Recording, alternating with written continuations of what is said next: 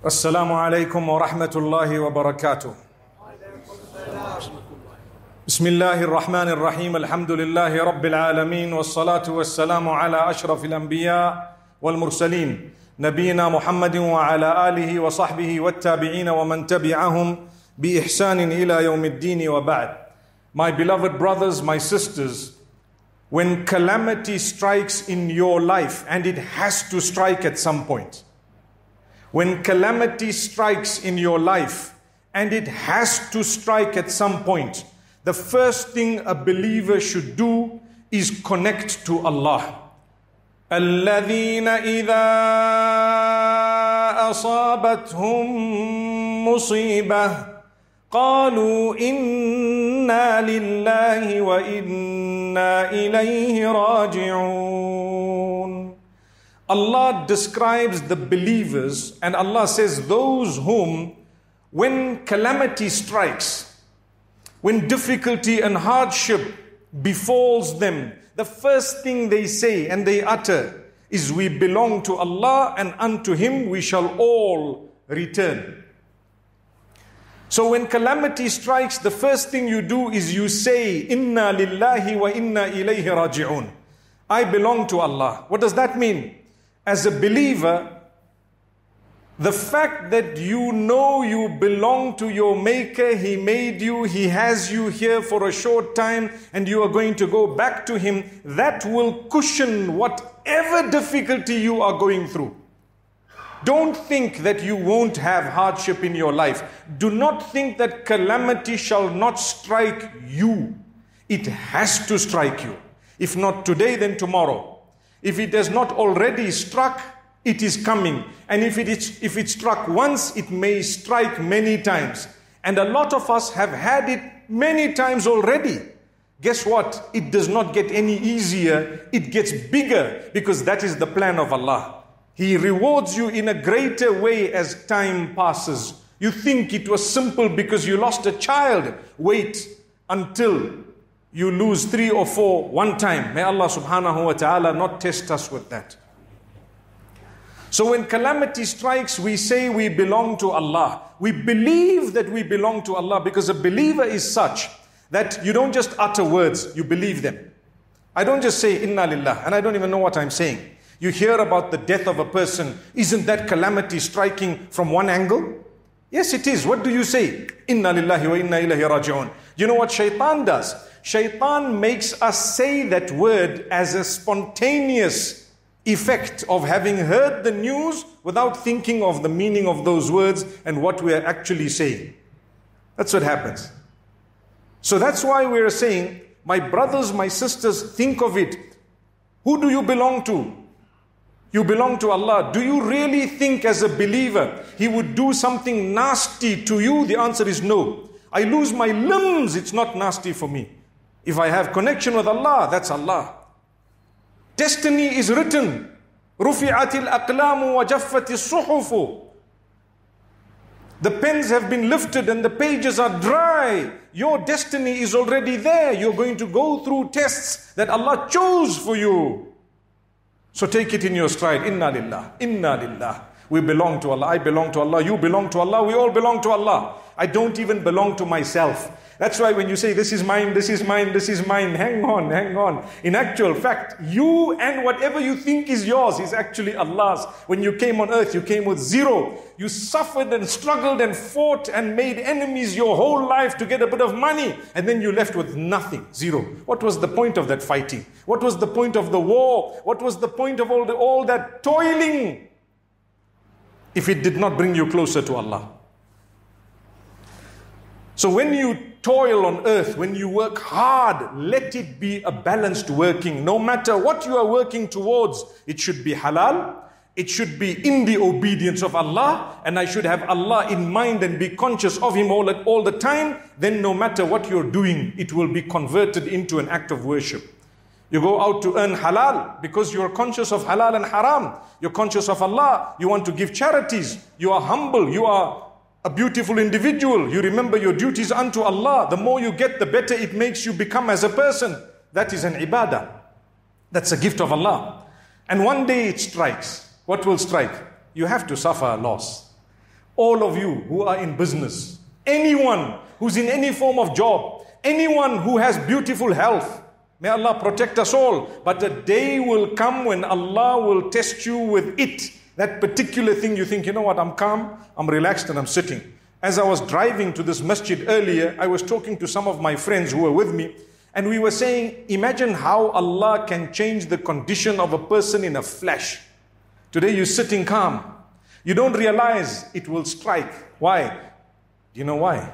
For a believer. The true reason is Allah is giving you the opportunity to outshine the old you and to come to a new level in your connection with Allah. That's the reason why He tests you a bit more. If you didn't have tests, you would not be able to be as close to Allah Almighty as you are now. But you are because you have the tests and you're a believer. Because some people, when they have a challenge, they resort to intoxicants, they resort to everything else, the wrong things. They go and drink themselves out of that problem according to them, but it's actually creating a bigger problem. They do the wrong things. They end up in the pubs and the clubs and gambling and whatever else. That's wrong. But when you have a calamity that strikes, and like I said, it shall strike, it must strike, your iman and your connection with Allah will cushion you. It will make you smile. When someone says, How are you? You say, Alhamdulillah, knowing very well that I'm suffering, I'm going through the most challenging time of my life. I'm really almost broken had it not been for the mercy of Allah. That's what I'm going through right now. Anyone in my condition, if they didn't have Iman, they would have killed themselves perhaps. But I have Iman. Allah's keeping me afloat. Imagine the marathon, this Iron Man that they go for, and I'm sure some of you do. One of the most difficult parts of it is not the riding or the running, it's the swimming. And the swimming is only four to five kilometers in that ocean. But when you do 1K, you know what it feels like. You know what it feels like. One kilometer of swimming, and you're looking there and you're thinking, what's going on? And you're almost dying, but you know, I got to keep on going. And you're almost dying, but you got to keep on going. What's keeping you afloat? Well, a few factors. I tell you, in our lives, that swim through your calamities and hardship is worse than that. What will keep you afloat is Allah and your connection with Allah. Do not lose it. My brothers, my sisters, connect with Allah. تعرف إلى الله في الرخاء يعرفك في الشدة. We've mentioned this hadith so many times. Get acquainted with Allah during your days of ease and Allah will get acquainted with you in your hardship. You will have something that can crack your back, but you are still smiling, saying Alhamdulillah. You're greeting everyone, you're happy, you're hugging. And guess what? People have smaller problems than yours, but they are in such distress. And you are there comforting them, them not realizing that in actual fact, this person needs to be comforted, and here they are comforting me. What is the difference? The Iman, the connection with Allah. That's what it is. So you say we belong to Allah. Myself and everything I have belongs to Allah my family, my wife, my kids, my parents, my children, whoever else it may be, my grandchildren, whatever it may be, we all belong to Allah. And on top of that, do you know what the second part of the statement we always say? وَإِنَّا إِلَيْهِ رَاجِعُونَ and we are all going to return to Allah. Some of us a little bit earlier, some of us a little bit later. When Allah's prescribed time has come, trust me, nothing was going to bring it forward by a split moment and nothing was going to delay it. If it is written your ruh is going at this particular moment, this second, this nanosecond, when that second comes, no matter what the condition is and no matter where you are, you're gone. Simple as that. You are gone Prepared. Allah make it easy. The beauty of it is when you go, those whom you love are following. والذين آمنوا واتبعتهم ذريتهم بإيمان Those who believe and their family members or their progenies followed them in belief. Allah says, ألحقنا بهم ذريتهم الله أكبر We joined and connected and reunited their families with them based on that goodness. Did you lose someone in your family close to you? Good news. Connect with Allah, you will connect back with them and be reunited soon. Very soon. But when you go back to be reunited with your loved ones, you'll be leaving behind other loved ones for whom your departure will be considered a calamity, and you're smiling and you're swimming in some barzakh that no one knows exactly what it's all about, besides a little that we've been told, and here you are, having gone with a smile, those who were around you are busy crying at the loss. May Allah make us such, because some of us, when we die, the people will say, Alhamdulillah, the man's gone. The way we operate on earth, sometimes people are waiting for us to go. Just wait a few more years. He's old now. You know, he's unhealthy now. But inshallah, soon he'll go. If people talk like that about us, we were a burden. Astaghfirullah. I see you relate. May Allah never make that happen to us. But it's a reality. You go, you go to a good place. You know why? You were on earth. You tried. Yes, things might have happened, but you were not evil. Wherever you are corrected, correct yourself. Wherever you are told this is right and wrong, don't become upset at the one correcting you. If they are right, change it. Change it. It's okay. If they tell you, look, you shouldn't be doing this and that, no problem. Let me correct myself. Do not abuse someone because that brings me to the second part of this issue of calamity. I started off by saying, when calamity strikes, what should you do? You first say, Inna lillahi wa inna ilayhi raji'un. I believe in Allah. I believe we all belong to Allah. And we're going to all go back to Allah. I've spoken about those two. Then you ask yourself a question. This calamity that struck, am I calm and content about it? Am I okay? Am I able to continue that swim that I was talking about just now with a smile? MashaAllah. You see the professional swimmers, watch them. They glide across. Have you noticed that? Effortlessly, and they're super quick, mashallah, before you know it. The best of swimmers and the fastest of them are not the ones who kick the water and who, who, who want to make the biggest of. Subhanallah. The biggest of splashes. They are the ones who glide through silently. You can't really hear much. You don't see a lot of splash, but they're gone before you know. You know what? With us in our Iman, when calamity strikes, are you going to be a professional? In the sense that, are you going to be a good Muslim, mu'min? Are you already close to Allah? Does it make you fulfill more salah? Does it bring you closer to Allah? Do you check yourself? And if you do, you know what? You're going to glide through. You're going to actually swim through. Before you know it, you're on the other side of the calamity. Subhanallah. Thanking Allah, oh Allah. I thank you for what you bestowed me with. You know why? It could have been worse.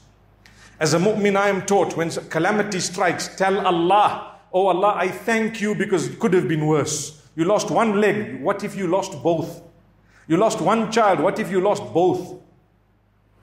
Subhanallah. You lost some business. What if you lost your life? Someone knocked your car, but you came out without any scratches. Thank Allah. What if your whole body was messed? It has happened to others. Each time something happens as a believer, my brothers, my sisters, tell yourself and tell Allah, I thank you, oh Allah, it could have been worse. I thank you that it's not as bad. At least you tested me with a test that is okay. With your help, I'm going to keep going. But with that, look at the condition of your heart. If you are content, thank Allah. You're a good person. If you are content at calamity that struck you, inshallah, you're a good person. But if you are struggling and you are really battling and it's changed you in the negative way and it's made you even worse, then guess what? You have to look at yourself. Ask yourself the first question Have you ever harmed someone? Because now the damage of that dua they made against you is probably hitting back at you. Then there's going to be such a calamity that will strike that Allah will not help you through it because it is a punishment. اتق دعوة المظلوم فإنه ليس بينها وبين الله حجاب. The Prophet Muhammad says, be very warned and be very careful about a dua that is or a supplication made against you by the one whom you have wronged.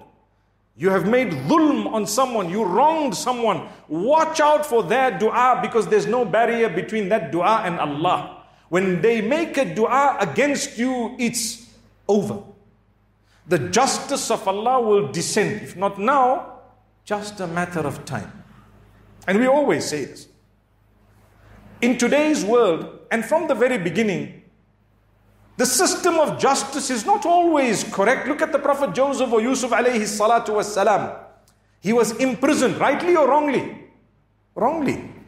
By a justice system that existed at a time when one would have thought there was justice better than what there is today. If he was imprisoned wrongly back then, what do you think is the condition today? What do you think is the condition today? So, in this world, you may not receive true justice. You may not.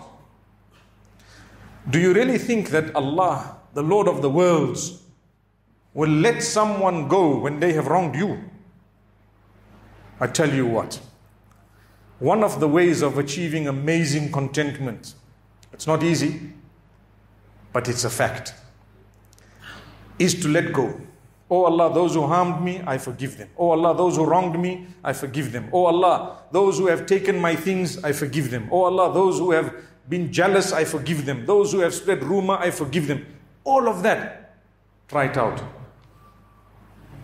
You arrive at a new level of contentment.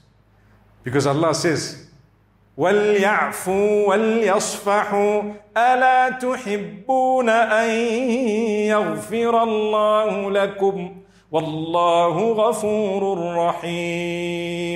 Forgive and embrace. Wouldn't you like Allah to forgive you? Well, if you release, Allah will release you. So if Allah's released you, where are you going to end up? In paradise. It's not easy because you need justice. You're a human. You want to fix a guy. Today, road rage is such that a guy who just cut slightly into you because you were discourteous and you didn't even let them in and they desperately wanted to get to the other side of the road and they cut in. You get so angry that you pull out a gun on the guy. That's what's happening in South Africa. Agreed or not? You get so upset they haven't even wronged you. That's the fact of life. They're just driving and they're thinking of how to do something. And you get so raged that it's actually called road rage and it's a disease and a sickness. And you get angry and you cannot release a guy who came in front of you. How is Allah going to release you?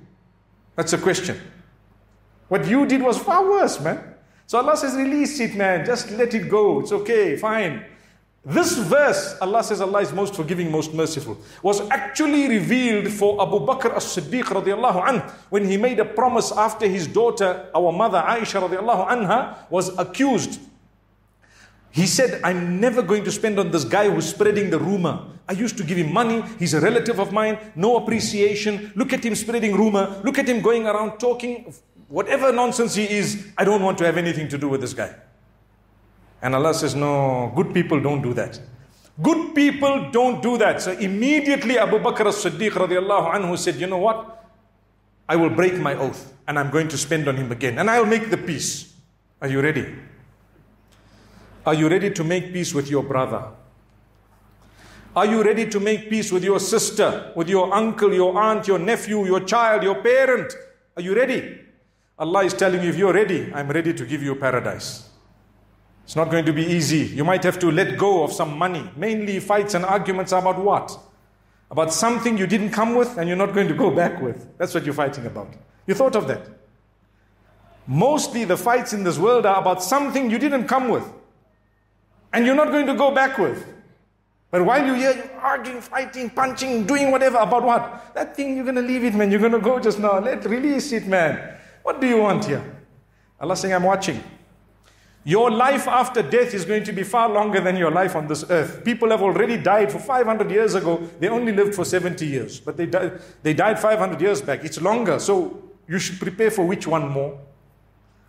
70 years, if you didn't have a house, big deal. Most of the world lives in rented accommodation. So, my brothers, my sisters, when calamity strikes beyond what I've just said, you look at your condition. If you're not content, Ask yourself, have I harmed someone? Go make peace with them. If you can't reach them, make dua for them. Undo what you did against them because I tell you something amongst us seated here today and all those who might be across the globe, they are hidden, hidden friends of Allah. You don't know. They probably do one deed. Someone you didn't even realize. A poor chap sitting in one corner there. He might have weaknesses, no problem. But Because of some of his strengths, Allah loves him so much, and you just came and you treated him badly, you did something rough, you didn't pay someone at work, you undercut them, you shortchanged them, you delayed salary. I always tell people the winner, a true Muslim, one who pays one day in advance. You due on the 30th. From me, 29th, you'll have your salary, inshallah. If I made a real mistake, 30th, it's there. And I'll pay you properly. Properly means the, the amount you're supposed to get and a little bit more. Those are the believers. That's Iman. We've lost it. Brothers and sisters, we have lost it. Work for a Muslim. Firstly, he'll give you the lowest possible salary. Secondly, he will not pay you on time. Thirdly, he'll make you the problem. And fourthly, he won't stick to the conditions. He'll call you outside hours for more without any recompense. That's what Muslims are all about. Why? Change it. Calamity is striking upon us from every angle. You know why? We are causing oppression against one another on a daily basis. How many of us talk good about one another behind their backs? But when it's something bad, it flies like Subhanallah. And when it's good, we don't even say it. Go out of your way to say good words. See, you'll change the whole world. So what if they have one, two issues? I was saying, if it's a friend of Allah, I promise you, you harm them with your tongue, it's written already. The angels have already written what happened. They're waiting. You either seek forgiveness or when the time comes, sadly, you're going to have to pay for it. Through what? Disaster, calamity in your life. Allahu Akbar. May we make peace before that comes. May Allah forgive us. And like I said, if it happens to any one of us, I promise you, try it out. Be the bigger person, forgive for the sake of Allah. Release. What hasn't Allah given you? When someone swears you, ask yourself, what hasn't Allah given me? He gave me way beyond the person who is swearing me. Release it, it's okay. That's why when Aisha radiallahu anha was accused, guess what Allah said in the Quran?